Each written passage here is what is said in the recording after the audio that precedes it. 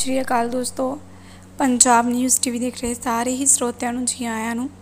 ਹੁਣੇ ਹੁਣੇ ਪੰਜਾਬ 'ਚ ਬਿਜਲੀ ਸੰਕਟ ਦੌਰਾਨ ਇਹ ਨਵੇਂ ਹੁਕਮ ਜਾਰੀ। ਆਈ ਤਾਜ਼ਾ ਵੱਡੀ ਖਬਰ।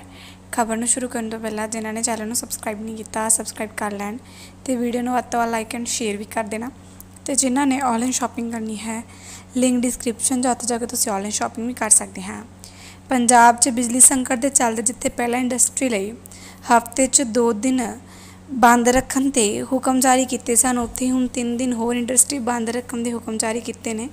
ਪੰਜਾਬ ਰਾਜ ਬਿਜਲੀ ਨਿਗਮ ਲਿਮਟਿਡ ਵੱਲੋਂ ਅਧਿਕਾਰ ਤੌਰ ਤੇ ਜਾਰੀ ਕੀਤੀ ਸੂਚਨਾ ਮੁਤਾਬਿਕ ਦੱਖਣੀ ਦੇ ਬਾਰਡਰ ਜ਼ੋਨ 'ਚ 4 ਤੋਂ 7 ਜੁਲਾਈ ਤੱਕ ਸਨਅਤਾਂ ਬੰਦ ਰੱਖਣ ਦੇ ਹੁਕਮ ਦਿੱਤੇ ਨੇ।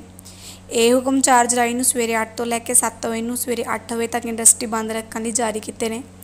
ਹੈਰਾਨੀ ਵਾਲੀ ਇਹ ਕਿ ਗੱਲ ਇਹ ਕਿ ਪਾਵਰ ਕਾਮਾਂ ਦੇ ਹੁਕਮਾਂ ਦੀ ਅੰਦੂਲੀ ਕਰਨ ਵਾਲਿਆਂ ਲਈ ਜੁਰਮਾਨਾ ਲਾਉਣ ਦਾ ਵੀ ਹੁਕਮ ਦਿੱਤਾ ਹੈ। ਇਸ ਮੁਤਾਬਿਕ ਪਹਿਲੀ ਵਾਰ ਕੁਤਾਹੀ ਕਰਨ ਵਾਲੇ ਨੂੰ 100 ਕੇ ਵੀਏ ਦਾ ਜੁਰਮਾਨਾ ਮਨਜ਼ੂਰੀ ਤੋਂ ਵੱਧ ਲੋਡ ਦੇਣ ਤੇ ਵਰਤਿਆ ਜਾਏਗਾ।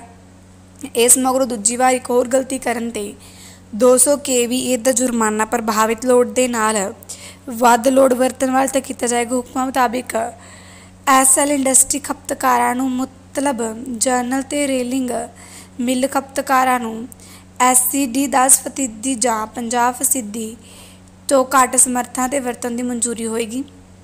ਇੰਡਕਸ਼ਨ ਫਰਨੇਸ ਲਈ ਐਸਟੀ ਦਾ 2.5% ਜਾਂ 50% ਕੇਵੀ ਜੋ ਕਿ ਘੱਟ ਹੋਵੇ ਅਤੇ ਔਕਰ ਫਰਨੇਸ ਇੰਡਸਟਰੀ ਵਾਸਤੇ ਐਸਡੀ ਦਾ 5% ਛੁੱਟੀ ਵਾਲੇ ਦਿਨ ਦਾ ਵਰਤਣ ਦੀ ਮਨਜ਼ੂਰੀ ਦਿੱਤੀ ਹੈ।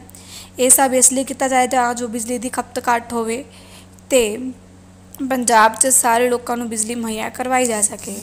ਖਬਰ ਨੂੰ ਲਾਸਟ ਤੱਕ ਦੇਖਣ ਲਈ ਤੁਹਾਡਾ ਬਹੁਤ ਬਹੁਤ ਧੰਨਵਾਦ।